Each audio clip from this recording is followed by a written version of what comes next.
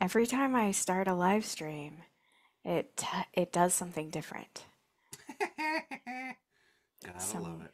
Technology. I'm I think it we're good. looks like we re- really are live. Yep, we're live.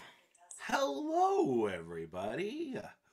Well, welcome to the Folk Music Educator Podcast. My name is Phil Kramer. And I'm Erin Mae Lewis, and I'm still trying to figure out what YouTube is doing right now. Uh, but I'm here, and this is the Folk Music Educator Podcast. There we go. Yeah. We've had a couple of weeks of just life. Um, life is happens when you're life is what happens when you're busy making other plans, and we were making other plans, and life happened. So we are here, and we're so happy to be back. Yeah, definitely. And we we had our like, hey, how are you? Hey, how are you? And immediately we're talking music nerd stuff. So I'm excited to see where this conversation goes. Exactly. We were talking about. Um, I have a student right now who's a uh, my only teenage student. They are 14, I think, and they do play in their school mariachi orchestra, which is fantastic. I think is so cool. Um, but they took lessons with me to kind of do some fiddle stuff, and over t- as time has gone on, I've been trying to find a avenue for momentum. Usually, Yeah. sometimes kids really get into the technique of things, and we can work on the technique. Sometimes they get really into learning fiddle tunes or ah, like improvising and so on and so forth. Well, this Mm-hmm. student in particular has really found an interest in jazz. And I was like, okay. So we've been working on learning some jazz inter beginning stuff. We were learning um, Yeah. when the Saints go marching in and the little they're loving that. Yes. Yes. Uh-huh. And so I was like, you know what? We should try to learn Honeysuckle Rose. It's in the key of F. It has some chromaticism. It is an AABA form. So my brain is like, okay, this is kind of complicated looking at the the sheet music. I know how to like I know this tune and everything, but I like to read Uh-huh. off of a thing so I can make sure developing this in a good thing and have a cheat sheet for the student just in case. I was like, maybe we'll work through the first part of the A this week and then the second part of the A next week. Then we'll do the B section in one week, so on and so forth. They learned the whole thing in one fell swoop. And In the key of F, which I know is hard on the fiddle. Like that is not an intuitive key. it's not an intuitive key at very at first. Yeah, there's harder ones, but that's kind of one of the first ones that's like, like Uh, right, right. yeah. Uh-huh. Um, it is the tantrum-inducing key that you might get from a, a fiddle player. Mm-hmm. Mm-hmm. Um, and I was so proud of them. And we were chat. I was telling Erin about this when we were first loading up, and we were talking about how sometimes our training in different parts of because I think when you get to go to music school, for better or Yeah. for worse, even the most progressive music schools in the country have at least the perspective and lens of what a typical classical music education system kind mm-hmm. of looks like. There are mm-hmm. classrooms, mm-hmm. there are ensembles, everything where you're either um, mirroring that exactly or you're reflecting it back, which is yeah. The same thing, but you know what I mean. Um, but it was funny because like looking at the sheet music of this thing, I was like, this is way more complicated. Like, da da da da like the syncopation, all these things. I'm like, how do I Yeah. explain this to a student? And then I'm just like, okay, we have the first part, and then I tell them we repeat that three times. The first time we play the little da once, the second time we play it twice, and the third time we play it three times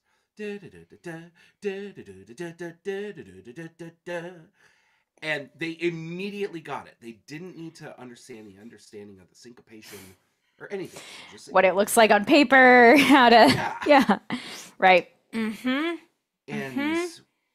and so that kind of brings us to a question of like, at what point does I we were kind of talking about like you you were mentioning um oh what's her name Seeger uh, t- tell, Ruth Crawford your, Seeger yeah. Yeah. you're, you were kind of saying. That. Well, yeah, because you were you also kind of mentioned that you had a conversation with an ethnomusicology student recently, and we were talking about kind of the idea of like um, I've never met an ethnomusicology student. I've just been really fascinated for a long time with ideas of like ethnomusicology and the sort of trying to trace and study and go deeper and and figure out sources and how do dots connect and all of that. And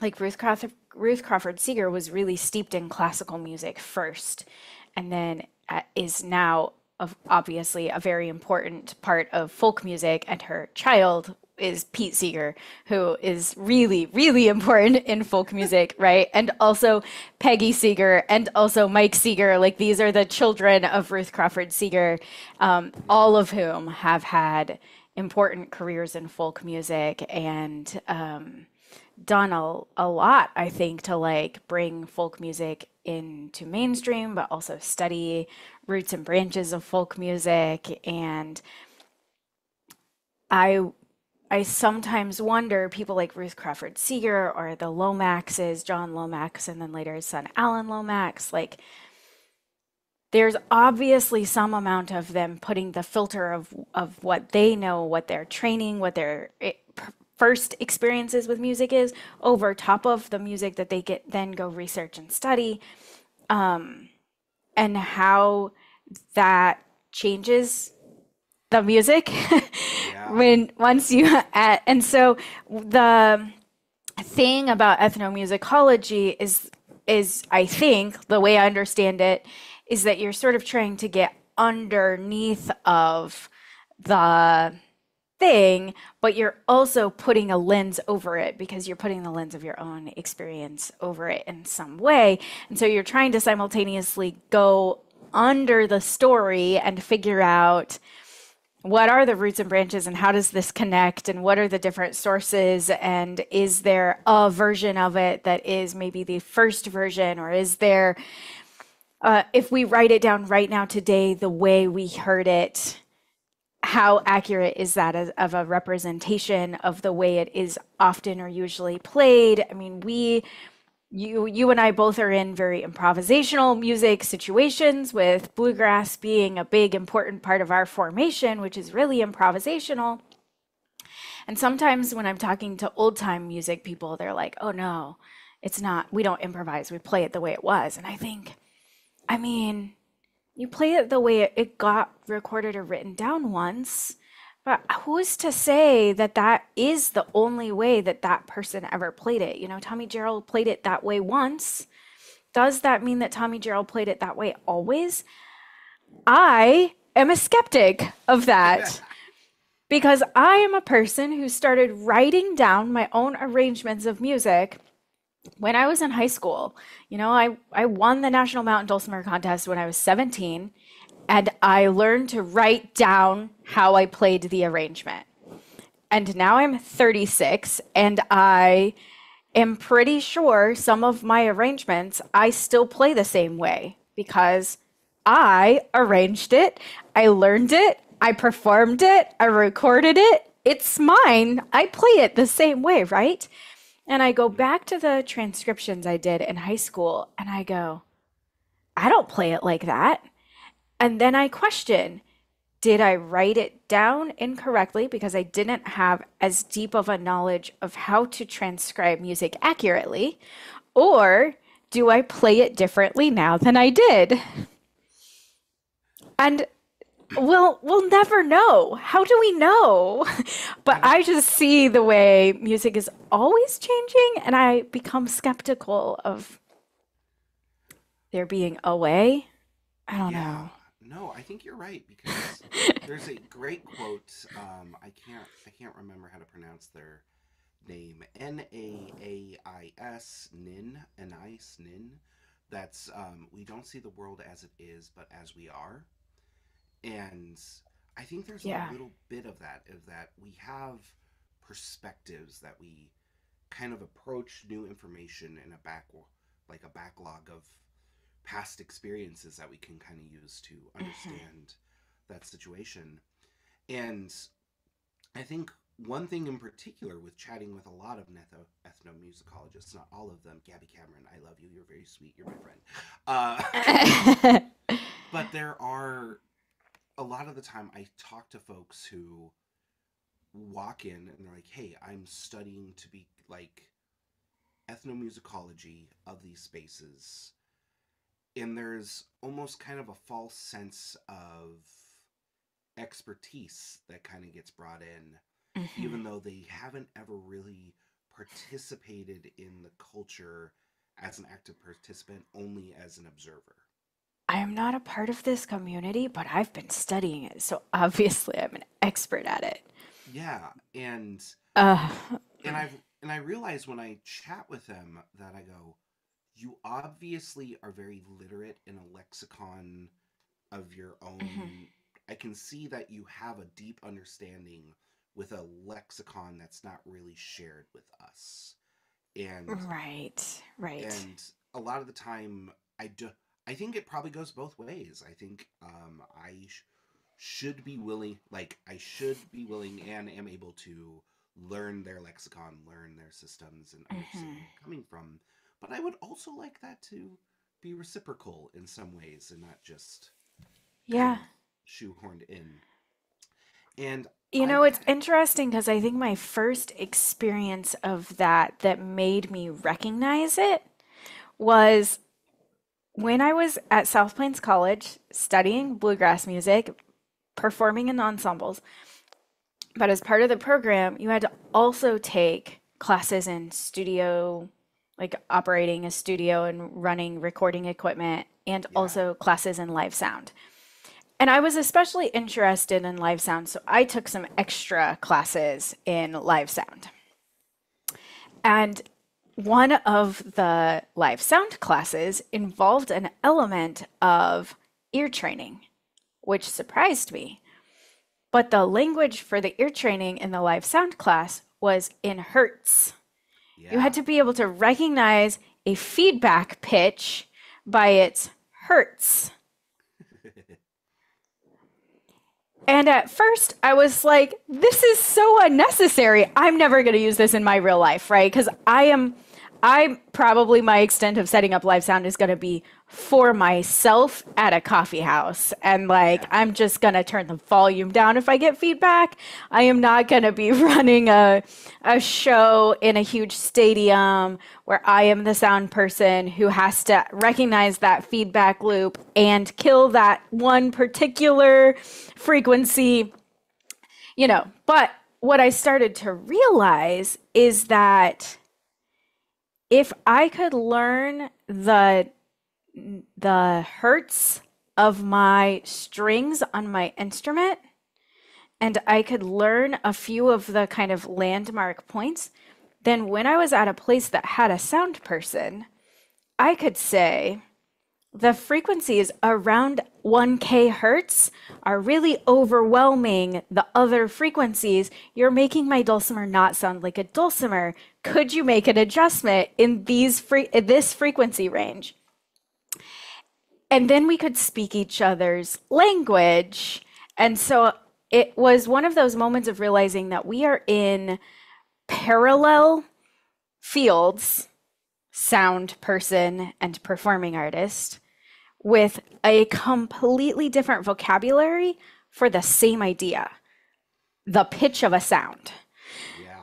I would use note name vocabulary because all of my training has been in, in reading chord names and note names and standard notation, and their buttons on their devices have hertz. And so they are using a totally different lexicon of language to describe the same thing. It's all over the place where we're speaking different languages to describe the same things.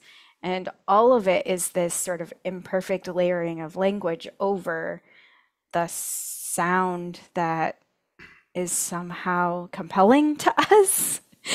It's very interesting. Yeah, it's very much like a Tower of Babel type of situation where we're right. right. yeah, and ugh, and I lo- part of me is really ener- energized and excited by that. And but I uh, um I've been reading a book by a guy named Buckminster Fuller, which is such a great name. Yeah. a, uh, an author, Buckminster Fuller, and he was this architect and philosopher and futurist and so on and so forth. And one of the things he talks about is that specialization, like hyper specialization on things, can actually be, start to become a hindrance because of a lot of those things. We start to lack our comprehensive knowledge skill sets. Like us humans, we're really special in the sense that not only can we play, you know, music and do math and do all these things like AI can, but we can learn how to do all of those things in the same lifetime to certain degrees. It's we're really malleable in that way, and that a lot of the time the specialization ends up it makes it more profitable to people because like oh there's someone who's deep knowledge of this one Mhm. thing but Mhm. sometimes can limit our connections and our own Mhm. community building aspects and all that stuff versus like oh maybe i shouldn't be spending my entire life focusing on becoming an expert in just this one singular thing but have Yeah. multiple comprehensive kind of things and i think that's one of the things You know, my dad used to always call that the like colloquial language for that, I think, is the jack of all trades and master of none, right? Is the Yeah. person who's just got a well-rounded knowledge base of a lot of things. Mhm. It's funny because I feel like my whole life is this sort of paradox of like every single thing I learn related to music or culture or life or whatever, I'm immediately like, how does this relate to the mountain dulcimer? So I have this sort of like, I want to only be super specialized in this one thing. And also, I'm pretty sure everything I learn ever can apply somehow to this one thing that I that I do. So I'm like, yes, give me more information. I don't know enough yet about all of these different like subgenres or all these different I don't know enough. I don't know yet how this applies to mountain dulcimer, but I I definitely need to learn more about this broader base of things so that I can figure out how mountain dulcimer is a part of that. and i think there's a. I think it's only natural to want to do that, and I definitely have those aspects myself. I just I I get really excited about the like I had a student recently. We were after our lesson was done and we had learned the tune by ear. Um after the tune is learned by ear and I know the version that we've ended up kind of learning together. Yeah, I ha- right. their current um Oh, do you notice when you're this is like a sorry, I'm I'm interrupting you. Do you notice when you're teaching students by ear that some phrases get turned a little differently than the way that you learned to play them, but in the end it still fits perfectly, but if you had written it down the way you play it, it would be different than the way you ended Yeah. up teaching it? Oh yeah, like it's I don't have a pop can here, but like I I make this analogy with students a lot. Is I will have like a can of Diet Coke, an empty can of Diet Coke here, and I go, "What do you call this?" And depending on what part of the world they're in, they will Yeah. Can of a soda, a pop, Uh-huh. so on and Yeah. so forth. And those regional differences are important because you listen to Soldiers Joy played by people in Missouri, they play it differently. It even has a different chord structure. It's still the same beat Mhm. part, but they Mhm. the way they order the notes is going to be a little bit different. And so like when we look at Fiddler's Fake Book or something like that, Yeah. the reason that no one is happy is because it is basically, oh, we're taking 40, 50 different versions of Soldier's Joy and making the closest approximation to all of them. And so it isn't anyone's version.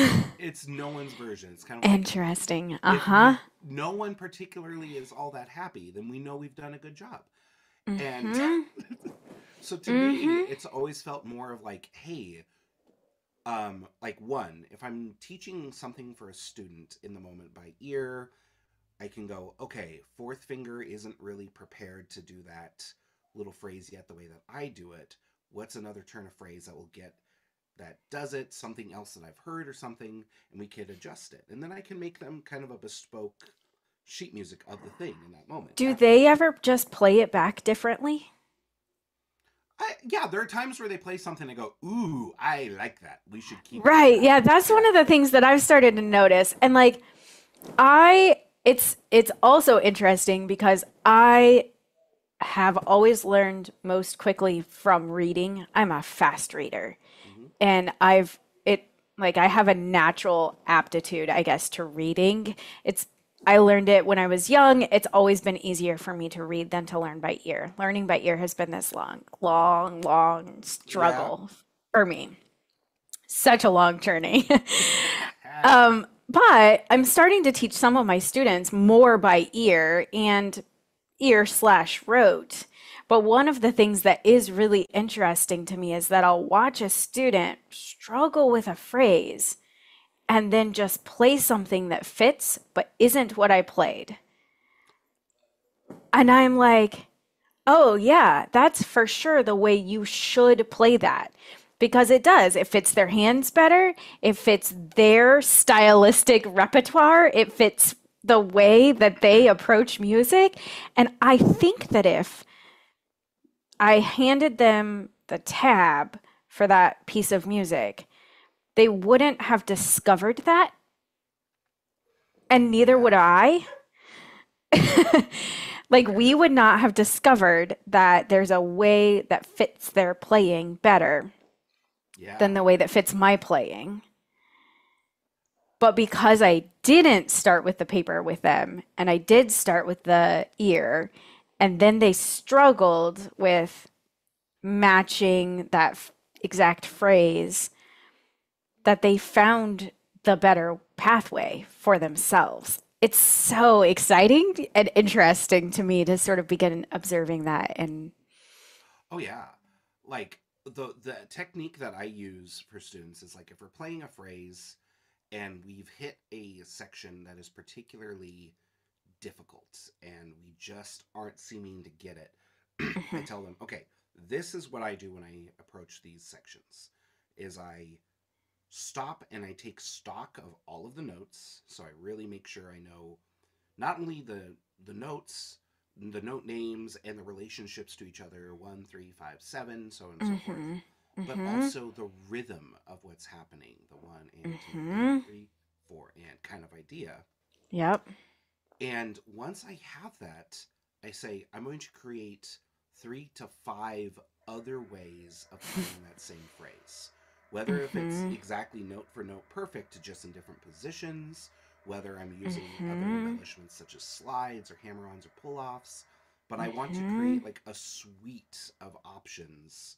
And what's really ends up being funny is not only do we now have three to five new systems Yeah. playing this, but when we look at option number one again, the demystifying, the really analyzing everything in that way, usually they're usually able to play that initial section the way um, better. They're usually able to play Yeah. after that practice. Uh huh. And because of this, what I usually end up thinking, like, I I think of sheet music more as like a sound recipe, in the sense of like oh, this is not supposed to be a rest. It's not pastry baking. It's this Right. is yeah some This is a casserole. This is a recipe for a casserole. You Yeah. dump in whatever ingredients you already have. It's- it's ingredients, you know?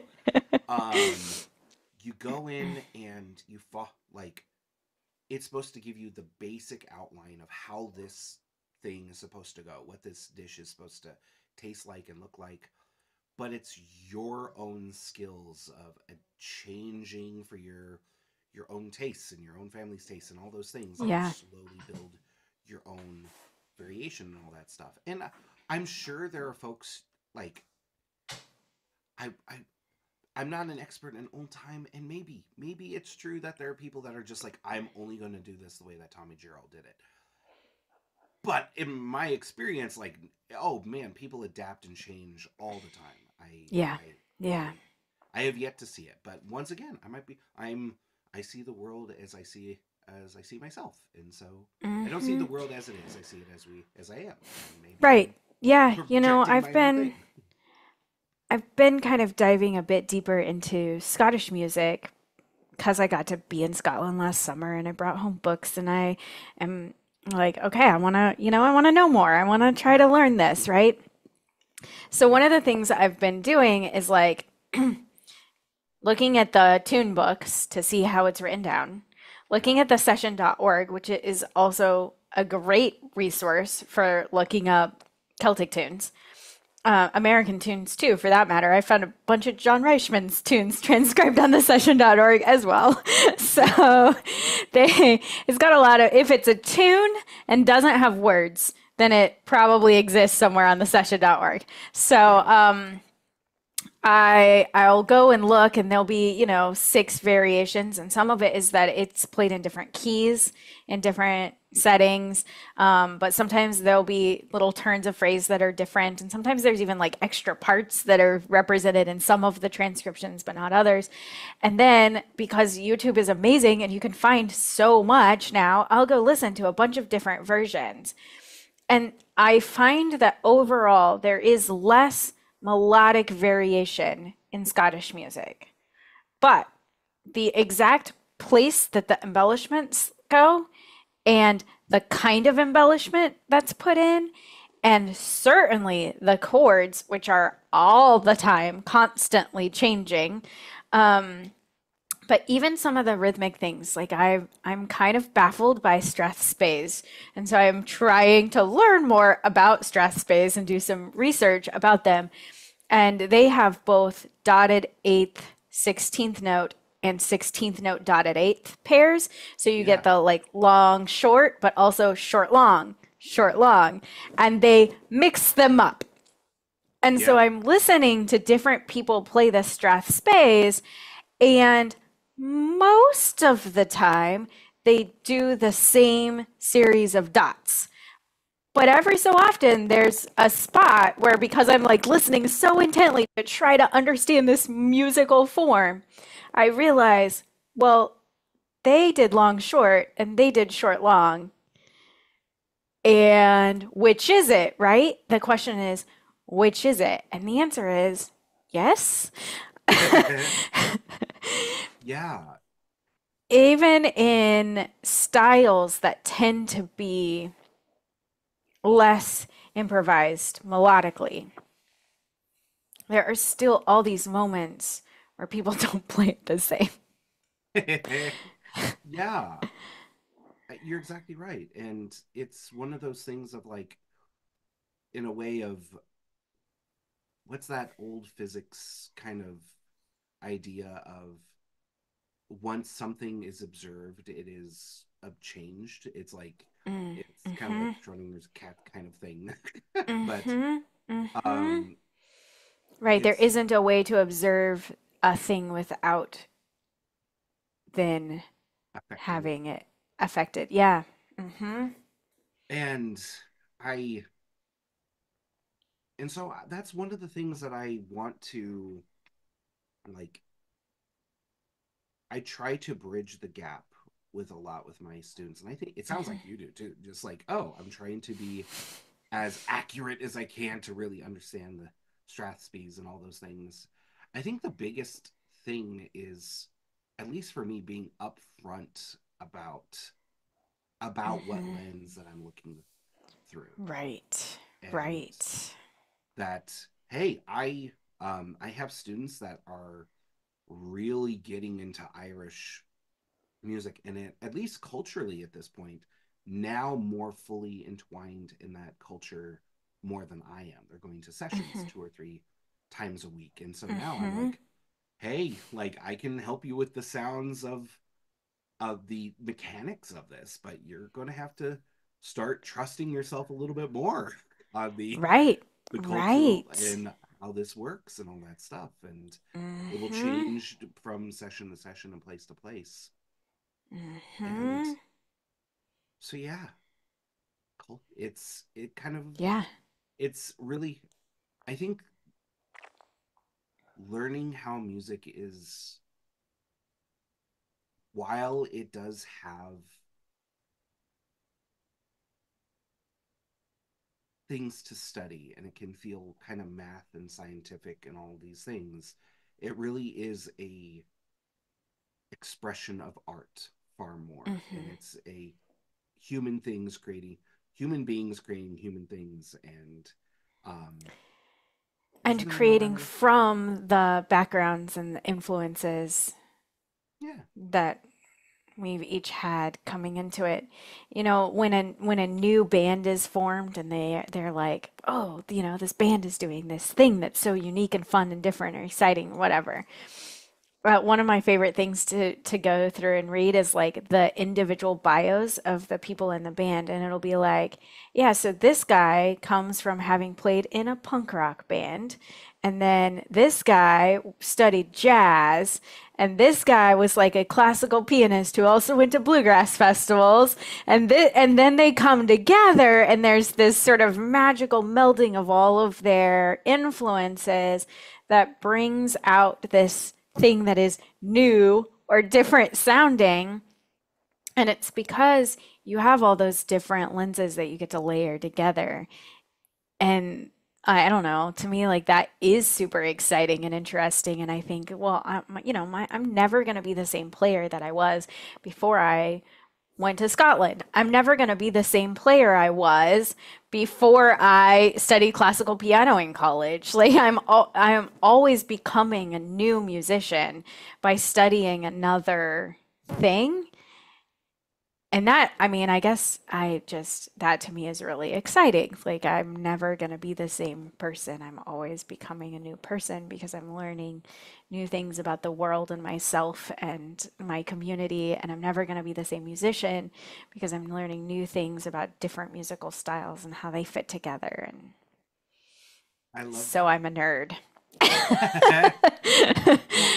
and honestly i feel like that's kind of the way to go with it because i i don't know i i definitely grew up in a culture that really um idolized the idea of specialization of just like becoming Mhm. so good at at something and like really being consumed almost to the point of health detriment by that thing.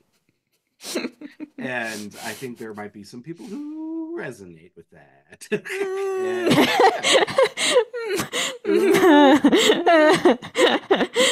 I have no idea what you're talking about. and don't get me wrong, like I am grateful for the skill sets that I've built and all those Yeah. things, but I also think that man, I there was a lot of time where I closed myself off to opportunities if what was presented was opposed to that specialization. And you know, I look back and I'm like, man, I didn't properly get to appreciate the access I had to that old like to Mm. that um there was a a guy that would go to gospel grasses that played an old Russian like mandolin, like the triangle Yeah. mandolin, and I never really appreciated that like having access to someone who was actually fluent in that and I could have learned Uh-huh. that and Uh-huh. and I don't know. I am falling more in love with the parts of my brain that are that jack of all trades, that comprehensive knowledge base a Mhm. little bit more. Um, I wrote a little poem about it a while back because I'm that kind of nerd audience. Sorry, but it's not even a poem, but just like a thought of like I used to be so mad at myself if I picked up this new hobby and then I just dropped it, you know Uh-huh. but then I started to realize, well, I I return to them a lot, like, and it's more of like, oh, when it's like I have a friend that comes into town when these uh, obsessions come back in. The version of myself that's really into cooking comes back in, and I get to dust off all the cookbooks that I bought last time, and get to Mhm, know all my grocery store clerks by a first name basis during that time, and and then that version of me goes on their merry way and goes on to something else. They leave town, and I'm back to, you know, putting together bachelor meals. uh, not microwavable ones. I've moved up from that at least. Um, and sometimes it's illustrating, and sometimes it's recording, and I, I'm so much happier getting to embrace that. Trust that I will learn. I might not become the best version of the player that I could have been, but I'll at least be my favorite version of the player that I can be. And Aw, if that- yeah. maybe that makes sense. I hope that makes sense. Aw. What I I don't know. I just think it's so sweet the idea of like I'm my favorite musician. And not in like an ego way, but in a like I listen to all of these other great musicians and I love them. And then my most favorite sound is whatever sound I can make. just filling like filling all of the corners of my brain with the little things that I like and you know maybe I don't need to go through maybe we don't need to go through all of the Kreutzer etudes or things violinists maybe we can just pick the ones that we want or we do, like create our own exercise Or the one that helps you get to where you want to be next. yeah you don't have to do them in order, maybe. Maybe you do the one that's like right on the edge of what you can do today. just Yeah, I yeah. I think it would have been and so I think that is a goal um, that if I could go like I want to have with my own students and if I could ever go back to college or influence college things of just like hey we have tried for the last hundred years to develop a system in which the musicians are at service of like what the institution deems like this is necessary for them Mhm. and we have come, we're quickly coming to the conclusion that that didn't work out as well as we would like. There are far far more many people who are not playing versus the ones that are. And so, Mhm. how about we switch it?